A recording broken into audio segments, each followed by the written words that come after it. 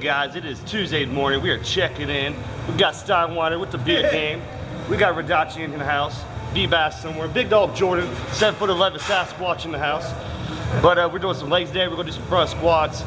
He's supposed to show us some different workouts, but I think we're going to stick with the front squats and uh, what we know best because we're on a time schedule here. So let's get started, guys.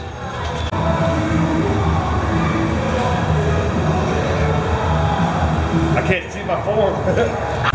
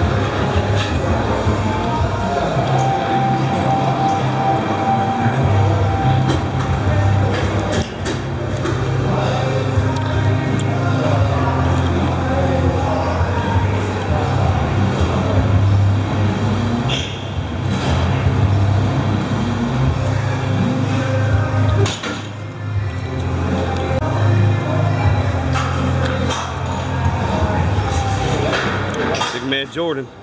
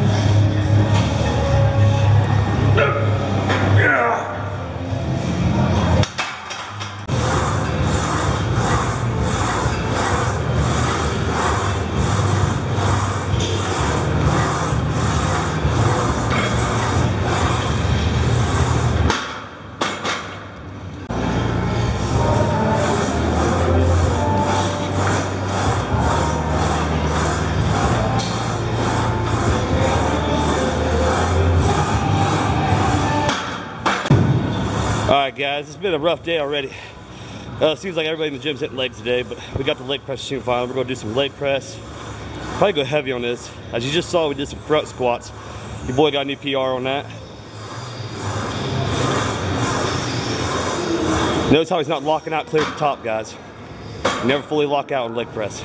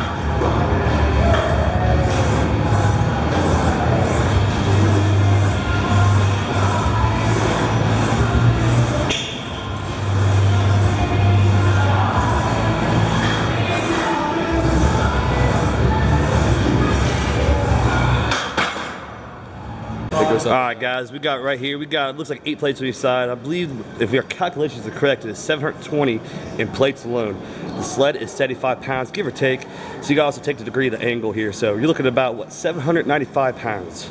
So we'll just round up, say about 800. See how many times we can get this. Hey, hundo. Hundo.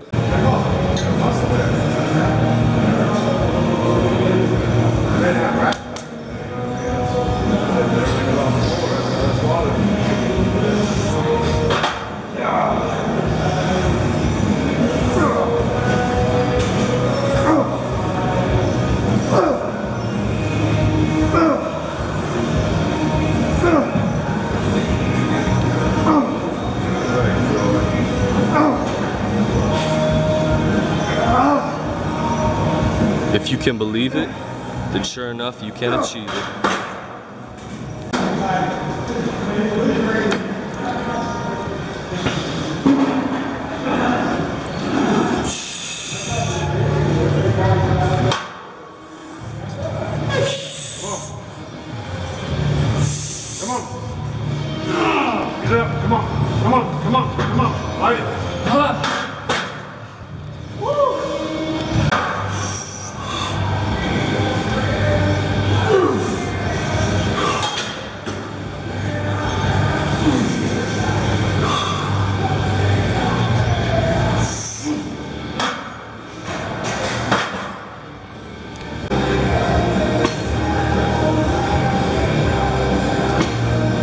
Jordan to get these in.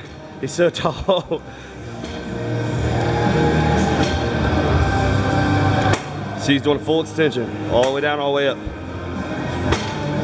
It's probably extremely light for him.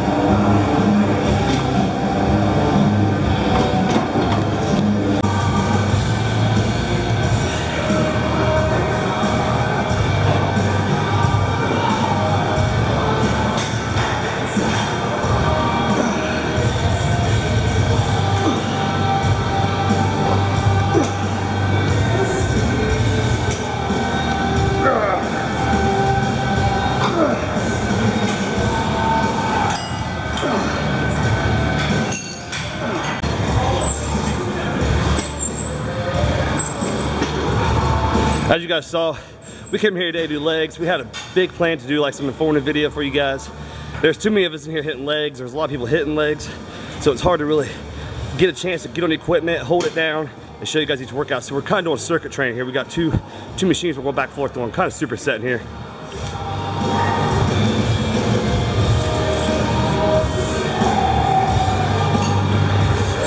Gotta remember the importance of accessory work on each muscle group. Gotta hit those accessory parts. That's what these machines are real good for.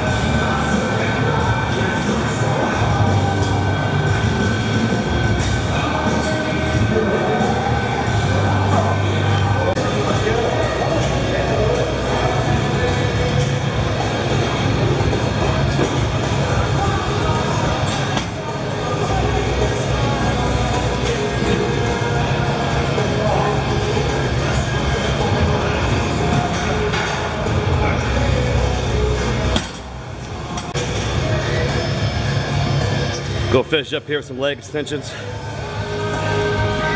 Real good for the quads.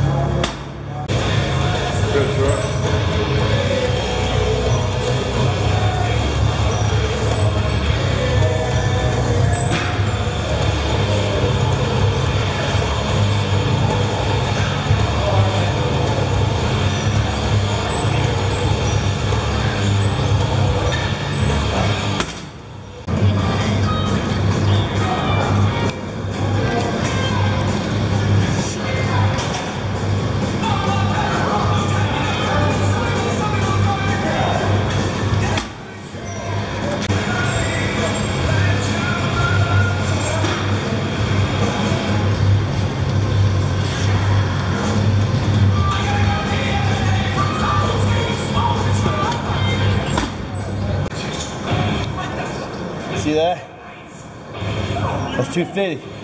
Throw that on there too. That's 260. 260. Last set, gotta go big.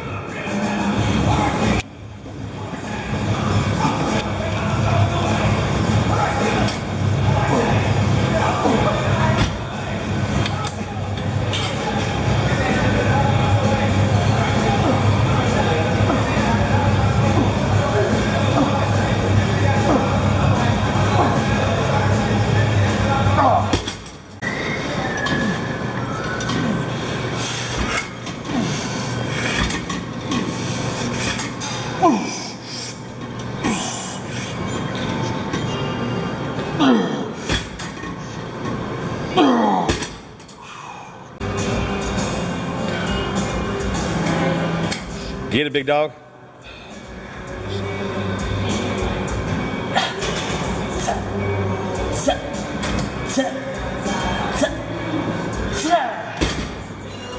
There it is. What's up, guys? Here we are back in my car. So, as you just saw, we destroyed, annihilated the leg day. Good leg session. I want to apologize off the off the rip here that uh, we didn't get a good informative explanation video for you guys. I feel like I have not been able to do that lately. We are going to make it a key point element here to do this this Friday. We're going to do a shoulder workout for you guys. I really want to take you through a good explain shoulder workout, and show you each area the shoulders to hit, which uh, you know how to hit, how to hit the front, how to hit the sides. Because if I had to pick a good muscle group that I have genetically gifted, I believe is my shoulders. They're just kind of all rounded, shaped well. So I really want to give you guys a good informative workout video here this Friday. So look out for that. Um, as you saw, we did leg press, we did front squat, set a new PR in front squat. I'm I'm thoroughly enjoying this lean bulking. I'm loving the results I'm getting, guys. I, I, can't even put it in words. I'm, I'm in shock. I shocked myself today. The fact I did 315 on front squat, 4-5, it, it just felt, I don't even know how to word it. It just felt awesome. Uh, big, big pat on the back for myself right there because uh, we did 225. I barely got it for 10. And I was like, wow, that felt super heavy. And uh, did 275 for, I think, five or six. I'm like, you know what? I can get 315 for one. I know I can get 315 for one. And it just felt good. Smooth transitional down and up, down and up. And um, I'm telling you guys, I hear a lot of people claim that they don't like leg day get good at leg day. Get good at leg day as good as you get at doing chest or arms, and you will find some value and enjoyment in it. And that is what it's all about. I come in here and I, I do not dread leg day now. I will never dread leg day. I don't dread any workout day. You can tell me let's go to the gym, do abs, core. And just don't tell me to go run right now because my cardio game is a little weak. I'm still doing 15, 20 minutes a day, but uh, only five times a week. And uh, it just, I'm not really incorporating too hardcore. So as you saw, we did leg press as well. Set another PR, 800 pounds, 795, sorry, 795, and uh, did it for 10. And uh, my form was a little tweaked on that too. Jordan pointed out that my left leg was kind of bowing left and right, I guess. I haven't looked at it on the video yet, but um, he told me to make sure you keep it tight. And we were talking about, a lot of people do leg press and their, their, their lower back takes a, um, you know, takes a little stress and hit. And he was, he was explaining, um, I really need to get, I need to get him on camera explaining this stuff because he's very knowledgeable when it comes to strong lifting and heavy lifting. Uh, he's talking about a lot of people when they do leg press, their hips come off the off the back of the seat. So you want to make sure your hips are planted and your legs are tight. So make sure if you're doing leg press or you're going heavy or even lightweight rep and just make sure your hips are planted and your butt stays on that seat and make sure your legs are tight, full tight motion movements. None of, you know, you don't want to bow any. So little stuff like that. That's why I want to get a nice informative video for you guys because he's got a lot of knowledge. I got a lot of knowledge and aspect of it. And it's nice to get other people's, um, you know, outlook on different workouts and different areas to work on. So, and it's little key points like that to can transition your movement. So, um, that's coming Friday for sure. Friday for sure. So, great leg workout, new PRs, feeling great. I'm gonna go home, smash my breakfast. Um, want to talk to you guys um, about my body weight right now. I weigh 225 pounds this morning. Now, um, long story short, summarize everything up. Um, every morning I wake up lighter. Well, of course we all do because we fast through the night. You, you know, you sleep six, seven, eight hours. Your body's fast. It absorbs water, uh, absorbs the nutrients out of your body. So you wake up lighter than what you went to bed, obviously. Um, I woke up 225 pounds. Usually I've been waking up about 221, 222. So 225 pounds was legit for me today. So it means anywhere in the day after I drink my two gallons of water and I drink my or my BCAAs, my protein shakes, I eat all my foods. Um, I weigh probably about 232 when I go to bed usually. So, and that's just the body fluctuates so much because I'm putting so much food into it right now. 3,200 calories a day, clean foods. That's that's a lot of food, guys. And I still have people today, every day, asking me, how do you put that food down, Troy? How are you eating that amount of food? Do you stay eating every hour? But I'm telling you guys, the gains are here. So it's, it's working. It's definitely working. Um, I believe we're now three weeks into it. So we got about five more weeks left of it. And I, I have no doubts in my mind that that 240 mark that I want to hit is coming. It's coming hard and it's coming strong. And as you guys see, the weight's going up and I'm going to keep pushing the, I'm gonna keep pushing myself every day at the gym and I'm gonna keep pushing. Um, the big thing with food is it hit me yesterday about seven o'clock. I think I was eating one of my meals at work and it hit me. Like I, I was like, man, I really am not craving this food. It was Brussel sprouts and um, Pacific cod. And I've been liking Pacific cod, but I'm kind of just getting tired of eating it. And I haven't had any struggles yet eating the foods. That was the first time I had to sit down and really like, okay, I gotta get this down. I gotta get this down. And I had to tell myself, I had to take my mind to a different area because I was in a the environment I was in. It's hard to get amped up, get motivated to sit there and eat that food.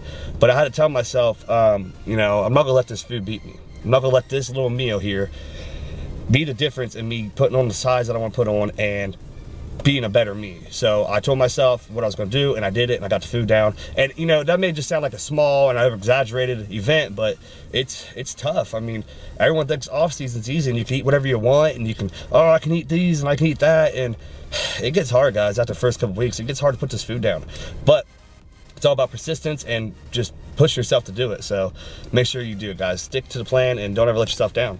So with that all said, guys, I am rambling and I'm babbling. I'm probably boring you guys now. So I hope you guys have been liking the videos lately. Um, so a lot of people have been commenting, messaging me saying they're liking the content. So if you are, awesome. If not, let me know. We'll change it up. But with that said guys i'm gonna wrap this video up go home get my last or my last my first meal in me and uh, get ready for my work day. So with that said guys always remember stay grinding stay the course and uh, stay pure to yourself guys. Stay 100 percent pure to yourself and to your friends family. That's they're the ones that matter the most. And don't ever ever let anybody ever tell you you cannot achieve your dreams because if you can believe it here and you can feel it here you can always achieve it my friends. So until next episode guys have a great day